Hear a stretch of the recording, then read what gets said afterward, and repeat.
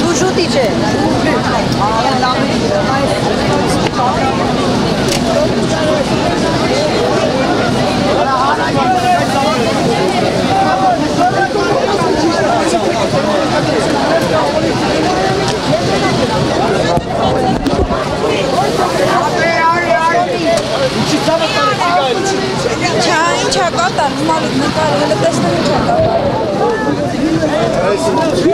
Վճատրեցինք բոլորին, բարոն Նասիբյան, հանդես չկա։ Ուղղակի ջան, եկա չկա, ասե լուրջ տղերք եք մի հատ բացատրե իշման։ Չկա էլի, չկա։ Աղջիկ տղա, երեքա անչափած, 10-15 տարեկան։ Դավայ գնացեք էստի տարա։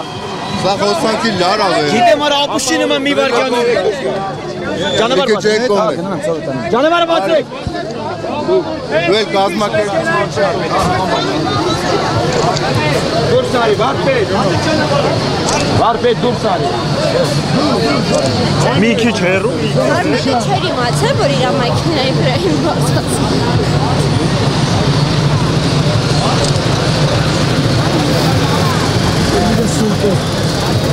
Քշվել է։ Հա, բացի հետաքրքրած։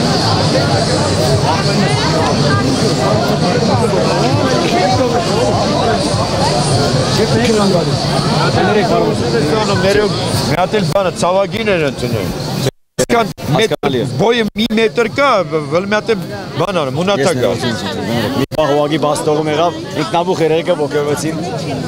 Դուրս եկա, դուրս եկա, դուրս եկա,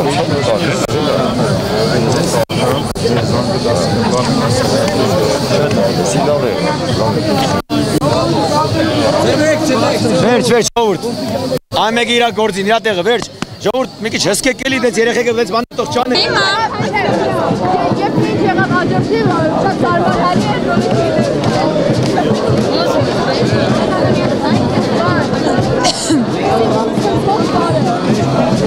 Ես չգիտեմ, կամ են դեպքում կապվել ենք սանիտեկի հետ ու պահանջենք, որովհետև խախտվել է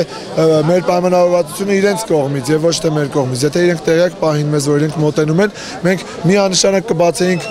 ճանապարհ մեքենայի համար, կապահովեինք անվտանգության բոլոր նորմերը, որպեսզի ինչ որ տակարուն երիտասարդները լավ ողջավորված այս process-ից չբարձրանային մեքենայի վրա։ Բնականաբար մենք այստեղ անվտանգության կողմնակից ենք անպայման, որովհետև երթի մասնակիցների անվտանգությունը ամենակարևորն է մեզ համար։ Անպայման կապահովենք, բայց պայմանավորվածությունը խախտվել է սանիտեկի կողմից։ Կզանգենք ու նորից կպահանջենք, որ մեր պայմանների համաձայն նորից կատարեն աղբահանությունը։ Արեստական կոնֆլիկտ բացեցին։ Կարող է եւ այդպես լինել։ Վա- Վաղը կամ այսօր եթե կփորձեն կապնվել, արդեն པարզ կդառնա իրենց պատասխաններից։ Իսկ այսօր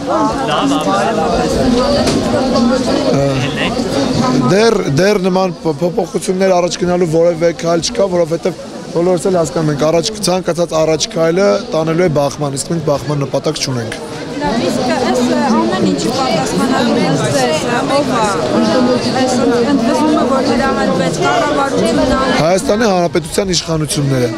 որովհետև Հայաստանի Հանրապետության քաղաքացին երկու անգամ իրականացրեց խաղաղ երթեր, եր- երրորդյա ժամկետով նստեց նստացույցի խաղաղ առանց որևէ բանի հստակ պահանջով եւ վերջ-վերջո ստիպում են քաղաքացուն դուրս գալ փողոց ու մնալ փողոցում այնքան ժամանակ, մինչեւ չստանա պատասխան։ Ձեր պահանջները չեն փոխվել։ Այս պահին չեղարկել, չեղարկել, այս թյուր կարծիք ա եղել, մարդիկ բարի սխալ ընկալման պատճառով ասել են կասեցնել, բայց մեր պահանջը չեղարկելն է։ Չեղարկին այն կացեցնեն, ձեր Ոչ, չեղարկումը դա որոշման ընդհանրապես վերացումն է, հա, չլինելն է։ Կասեցումը դա ժամանակավոր կասեցումն է, ինչը հետագայում իրենց հնարավորություն կտա վերանայել որոշումը եւ միգուցե թե նույն գնով կամ մի փոքր ավելի ցածր գնով վերահաստատել։ Դրա համար մենք կոնկրետ պահանջում ենք չեղարկում եւ ոչ թե կասեցում։ ընդունիկ եթե կասեցնեն։ Ոչ, այո, որովհետեւ մեր կոնկրետ պահանջում ենք չեղարկել եւ վերջ։ Իսկ պատասխանատվության հարց չի բարձրացվելու, այդ քանի որ չարաշահումներ են եղել Պրենեցի կողմից, թե նշվում է կառավարությունը անգործություն արել այս ընթացքում անգործությունները։ Ը, ճիշտ ասած, եթե լիներ դատախազություն, հա, կաշխատեր այդ կառույցը այս երկրում, վաղուց պետք է գործ հարուցված լիներ, որովհետև նախարարի շուրթերով հնչեցվեց, որ հեծում եղել է գողություն։ Բայց քանի որ բոլորս էլ հասկանում ենք, որ եթե նախարարի շուրթերով է հնչեցվելու որևէ բան չեղել, ես որպես քաղաքացի 10000 անգամ էլ դիմում տան դատախազություն, գործը տեղից չի գնալու ոչ մի քայլ առաջ։ հասարակությունը այս հավաքված է, արդյոք ինքը պահանջ չի ներկայացնել։ պահանջ ներկայացնելու դեպքում էլ մենք գազի ստորագրահավաքի ժամանակ տեսանք, հա, մենք նախադեպ ունենք, երբ որ հասարակությունը կազմակերպեց ստորագրահավաք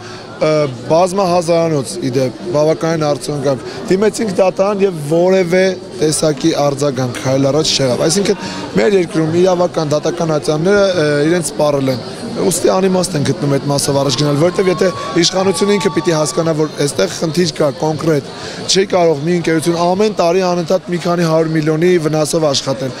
Միթե չի կարելի այնտեղ ստուգումներ անցկացնել հասկանալու համար, որտեղից այդ պարտքը վերջի վերջո։ Գուցե դուք նաև պահանջեք ոչ ստուգումներ արվելու ընթացքում։ Գիտեք, եթե Եթե պահանջենք այդ ստուգումները ներկայացնելու, մենք համոզված ենք, այդտեղ դժվելու են մի քանի Չ կլասի չինովնիկ, հա, այսինքն հիմնական մեղավորները մնալու են ազատության մեջ։ Մի քանի տեսու չի բանի գործից կհանեն, որ այ կաշառակերություն եղել եւ այլն եւ այլն, սցենարը բոլորիս էլ համարել པարզ է։ Իսկ հիմնական թալանողները կմնան աշխատանքի հեծում։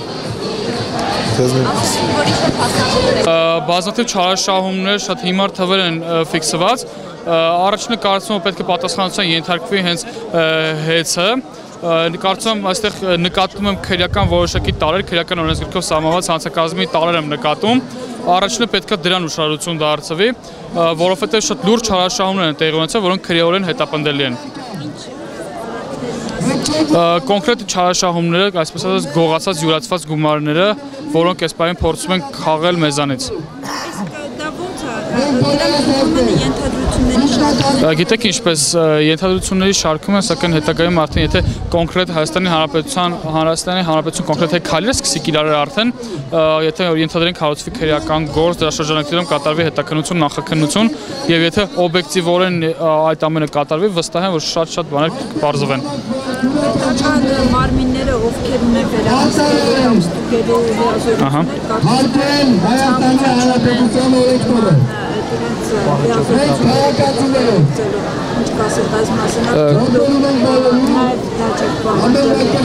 Կարծում եմ, ստեղ արդեն քաղաքական որոշում է ոչ թե զուտ իրավական տեսանկյունից, թե իրավական տեսանկյունից լիներ բավականին թվեր